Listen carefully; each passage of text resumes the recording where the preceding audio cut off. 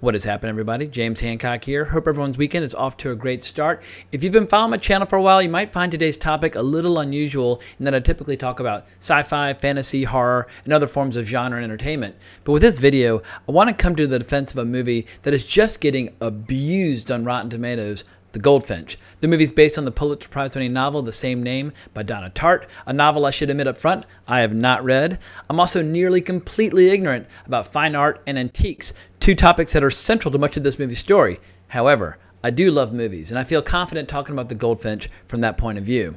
Directed by John Crowley, who's best known for the 2015 film Brooklyn, with a screenplay adaptation by Peter Straughan, who wrote the brilliant movie Tinker Tailor Soldier Spy, The Goldfinch is the type of film that rarely gets made in Hollywood anymore, namely a prestige drama with a decent budget, in this case an estimated 45 million. The film boasts an impressive cast and stunning photography by Roger Deakins, and is precisely the kind of film that so many critics claim they wish to see more of. A movie for adults that's not intended to be a franchise where one can build a business model around it, including an assortment of roller coasters, t shirts, you name it.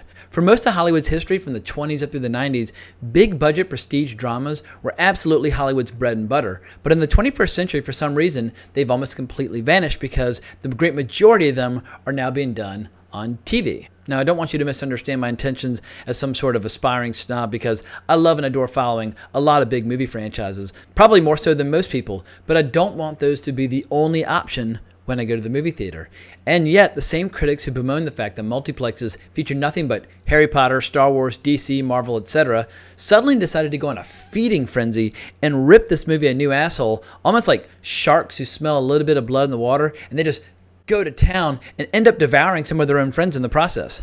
The film's currently sitting at 25% on Rotten Tomatoes, which I think will play a huge role in completely destroying this film's theatrical run. But as I looked over some of the reviews, I noticed something funny. I realized just how inaccurate and useless Rotten Tomatoes can be when it comes to nuance.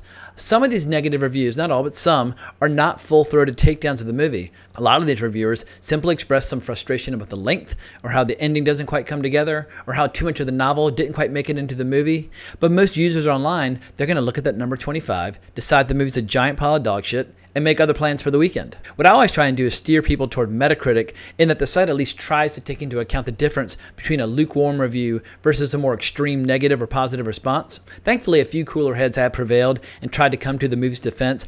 I saw Leonard Maltin pushing back on the dogpile phenomenon in effect, and a few others who recognize that even when a movie doesn't completely hit a home run with the source material, that we at least admire and support the ambition of directors to explore and adapt challenging material. A movie business that only makes content for the very young or the very young at heart would get heartbreakingly dull in a big hurry. The irony is that I would not have even seen this movie if not for a dear friend who loves and adores the book. And I definitely wasn't planning on discussing the movie on this channel, and I'm not even trying to make the case that the film's some contender for my top 10 of the year, but there is a hell of a lot to enjoy about this movie. The plot's rather complex, but in broad strokes, The Goldfinch is a coming of age story about a young boy named Theo Decker who loses his mother when a bomb goes off at the Met.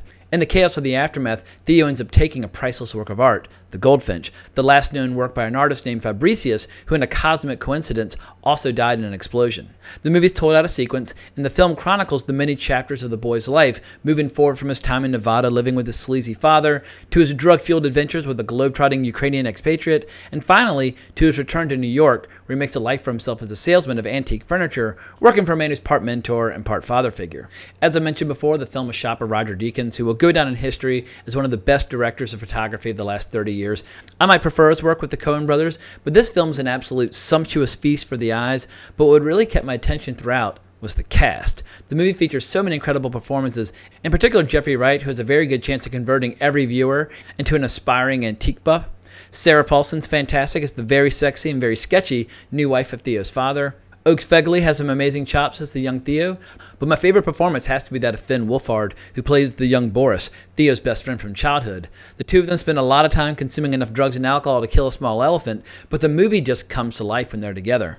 I already liked Finn as a performer from his roles in Stranger Things and It Chapter 1, but this was the first time that I really started to see just how good he can be when he has a role that allows him to stretch his wings creatively.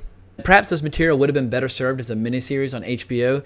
Right now, it seems as if the movie might be too long and too short all at once. It's kind of too short to do the book justice and really do the deep dive. The book's nearly 800 pages in length, but it's also way too long for people who'd prefer just to go see the latest roller coaster ride that's masquerading as a movie. Something tells me though that in a few months' time, there are going to be a lot of depressing articles discussing how the Goldfinch's commercial failure is yet another sign that these kinds of projects belong solely on the small screen and nowhere else. Right now, as we speak, there are a lot of filmmakers out there and a lot of writers out there who are trying to get the green light for their projects. And when and if this movie bombs this weekend, it's going to give a lot of producers and a lot of investors really cold feet about adapting literature in the future. So that's my take on a movie that I wasn't planning on seeing or reviewing, but having seen it, I have to say that the critical community has not treated the film fairly. If you like the trailer or you're intrigued by the film, definitely see it. Because in the end, voting with your dollars is the only way to get Hollywood to do anything. And I, for one, would rather see Hollywood not give up entirely on adapting good literature in the future. In any event, hope you enjoyed this video. If you did, give the video a like, the channel subscribe. Whoa. Shit. Sorry about that. My light went dead right in the middle of a sentence. But as I was saying, if you like this review, give the video a like, the channel subscribe, all that good stuff. If you want to talk more about movies, you can find me on Twitter at Colebrax. But I hope everyone has an amazing weekend. Thanks so much for watching this. I really appreciate it. But more importantly, as always, onwards and upwards.